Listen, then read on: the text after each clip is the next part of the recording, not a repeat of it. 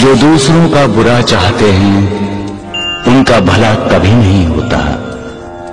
फ़सल वैसी ही उगती है जैसा बीज बोया जाता है।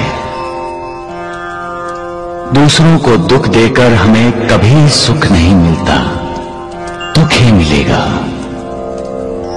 इसलिए अच्छा सोचो, अच्छे